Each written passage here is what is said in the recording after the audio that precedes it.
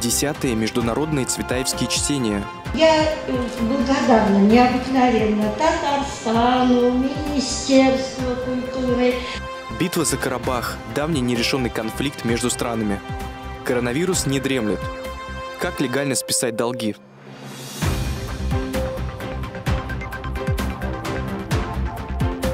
Всем привет! В эфире «Универ а в студии Амир Ахтямов. В Казанском федеральном университете стартовала ставшая традиционной акция «Спаси жизнь, стань донором костного мозга». Мероприятие продлится по 17 сентября. Подробнее о Приволжском регистре доноров костного мозга можно узнать на сайте. Дополнительную информацию об акции можно узнать по телефону 292 72 70. Имя великого русского поэта Марины Цветаевой навсегда связано с Елабугой. В городе, где завершился ее земной путь, бережно хранят память, изучают и популяризируют личность и творческое наследие поэта. О том, как в этом году почтили память автора, узнаете в следующем сюжете.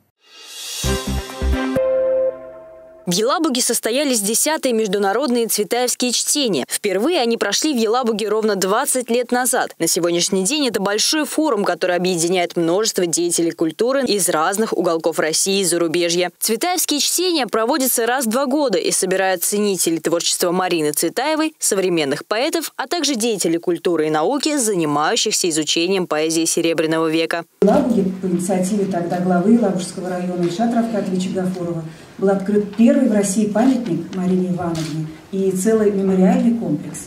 И тогда я еще директор школы, стоя в рядах вот среди всех елабужан на этом открытии, точно понимала, что за нами, за елабужанами сейчас огромная ответственность. И все эти 20 лет, поверьте, мы жили безусловно, вот, неся эту ответственность за историю, за культуру, за развитие нашего города и за сохранение памяти, конечно, великого поэта. В рамках форума состоялось несколько творческих встреч и пленарное заседание, где были озвучены 26 научных докладов, связанных с жизнью и творчеством Марины Цветаевой. Также прошло вручение 11-й литературной премии имени Марины Цветаевой в номинации «Цветаевский мемориал». Его обладателем стала директор музея семьи Цветаевых в Тарусе Елена Климова. Я э, благодарна необыкновенно Татарстану, Министерству культуры Татарстана, конечно, Елабужскому музею-заповеднику государственному, руководимому Гульзадой Ракиповной Руденко, лауреатом Государственной премии России. Спасибо большое за оказанную мне честь. Традиционно мероприятие цветаевских чтений посещают студенты и преподаватели Елабужского института Казанского федерального университета, знакомятся с современной поэзией и новыми фактами из биографии поэтов Серебряного века. Напомним, что мероприятие было организовано при поддержке Министерства культуры Республики Татарстан, Елабужского государственного музея-заповедника и Елабужского института Казанского федерального университета. Алина Красильникова, Айдар Нурмеев, UniverNews. В ночь на 13 сентября на границе Азербайджана и Армении возобновились столкновения. Ереван заявил об обстрелах с юго-восточной границы. Нерешенный конфликт между странами имеет давнюю историю. О каком конфликте идет речь, расскажем в сюжете. Ровно 30 лет назад, в августе 1992 года, депутаты Верховного Совета непризнанной Нагорно-Карабахской республики ввели военное положение на территории региона и объявили всеобщую мобилизацию. Конфликт между Арменией и Азербайджаном вышел на новый виток эскалации. С распадом СССР союзные власти уже не контролировали противоборствующие стороны, которые получили возможность использовать вооружение, оставленное советской армией. Первая Карабахская война, которая продлилась до мая 1994 года, унесла жизни более 30 тысяч человек. Более миллиона человек сделала беженцами. Если мы посмотрим на историю вот именно отношений между э, армянами и азербайджанцами, то мы увидим, да, что наибольший пик противоречий, напряженной обстановки, он приходится уже на 20 век, вот, а именно связан с событиями э,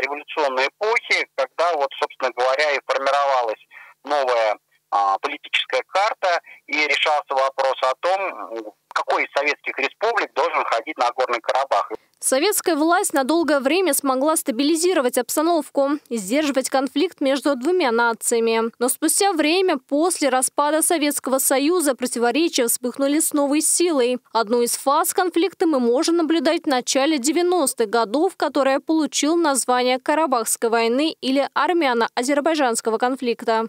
Если брать суть этой войны, то это война, которая включает в себя, во-первых, конфликт за территорию, чей состав какого государства должна входить в территорию Нагорного Карабаха. Во-вторых, она включает в себя элементы э, межнациональной розни между армянами и азербайджанцами.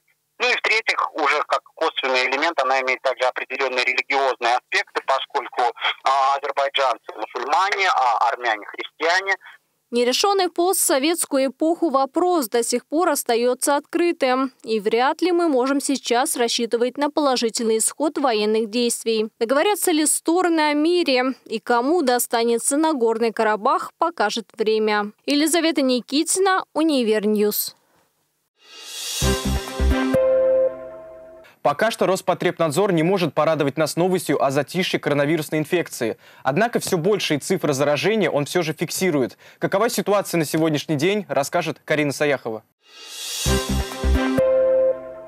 За прошедшие сутки в России выявлено 44 045 новых случаев заражения коронавирусной инфекцией. Такие данные во вторник, 13 сентября 2022 года, привел оперативный штаб по борьбе с пандемией. Согласно статистике, за прошедшие сутки был подтвержден 101 летальный исход, а выписано 48 187 человек. И это на 35% больше по сравнению с минувшим понедельником. В Татарстане наблюдается увеличение количества заболевших если еще 1 сентября было 366 новых случаев, то сейчас уже зарегистрировано 893 случая. То есть каждый день почти там на 50-100 человек увеличивается количество заболевших. На днях Всемирная организация здоровья заявила о том, что женщины в два раза больше подвержены затяжному течению коронавирусной инфекции по сравнению с мужчинами. Такой вывод следует из исследований Института измерения показателей и оценки состояния здоровья при Вашингтонском университете. Согласно его результатам, как минимум 17 миллионов человек в 53 странах-участницах Европейского региона ВОЗ могли испытать симптомы затяжного коронавируса, сохранявшиеся по меньшей мере в течение трех месяцев. Кроме того, среднесрочные и долгосрочные последствия коронавируса, среди которых усталость, одышка и когнитивная дисфункция появляются у 10-20% заболевших. По словам экспертов, риск также резко возрастает среди тяжелых случаев COVID-19, требующих госпитализации. Причем у каждой третьей женщины и каждого пятого мужчины может развиться затяжная форма COVID. В Татарстан поступила назальная вакцина от COVID-19. Э,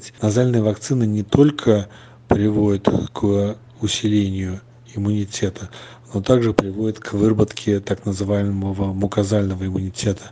То есть это иммунитет в слизистых оболочках верхних дыхательных путей, э, которые являются входными воротами для коронавируса, а значит люди, ревакцинированные назальной вакциной, будут лучше защищены от э, вирусной инфекции. Напомним, что привиться от коронавируса инъекционно или интраназально можно в университетской клинике Казанского федерального университета. Иммунизация осуществляется в поликлинике по адресу Вишневского, дом 2А, с понедельника по пятницу с 8 утра до 7 вечера, а в выходные дни с 8 утра до 4 часов вечера. При себе необходимо иметь паспорт, СНИЛС и медицинский полис. Карина Саяхова, UniverNews. Законное списание долгов в России набирает обороты. Подробности данной процедуры и подводные камни оформления банкротства узнавала Аделина Абдрахманова. Интернет кишит информацией о законном списании кредитов и долгов с физических лиц. На данный момент нет единого закона, который регулирует списание долгов по кредитам. Однако существует закон, согласно которому осуществляется процедура банкротства всех возможных форм коммерческих организаций физических лиц. Вообще банкротство применительно к физическому лицу это официальное признание неспособности физического лица должника полностью исполнить свои э, обязательства долговые. Э, это относится не только к кредитам, но и вообще ко всем э, долгам, которые у физического лица могут быть. Только в 2021 году сумма долгов по кредитам среди россиян достигла 23,9 триллиона рублей. Именно поэтому реклама в социальных сетях стала набирать обороты, тем самым увеличивая интерес граждан. Если у физического лица достаточно много долгов, там речь идет о нескольких сотнях тысяч рублей и больше, то в этом случае э, процедура банкротства предполагает обязательное обращение э, в суд. Э, значит, такого гражданина банкротом может признать только суд. И, соответственно, к этой процедуре обязательно привлекается специальное лицо, которое называется а, финансовый управляющий. Второй вариант – это банкротство вне судебного порядка. Оно предусмотрено для тех, у кого сумма долгов меньше 500 тысяч рублей. В этом случае гражданин может обойтись без сопровождения юриста и самостоятельно подать заявление в МФЦ. При судебной процедуре банкротства а, гражданин, который становится банкротом, он сам же еще оплачивает э, услуги Э, финансового э, управляющего. А, то есть финансовый управляющий, он действует исходя из оплаты своих услуг самим гражданином. При банкротстве физического лица происходит не просто списание долгов, а продажа имущества должника, которое идет в честь аннулирования займа. Важно учесть, что происходит частичное списание кредитов. Есть ряд долгов, которые не подлежат списанию, например, долги по выплатам алиментов. Процедура банкротства а, в течение пяти лет а, человек ограничен в э, правах, можно сказать. То есть э, при получении кредитов или каких, совершении каких-то сделок, в результате которых он принимает на себя обязательства, он будет обязан указывать, что он является банкротом. Более того, человек не может занимать никакие руководящие должности в частных компаниях и государственных организациях в течение от 3 до 5 лет, в зависимости от типа организации. Аделина Абдрахманова, UniverNews. На этом все. В студии был Амир Ахтямов. Сюжеты из выпуска ты сможешь найти в наших социальных сетях, а также на сайте телеканала. До новых встреч!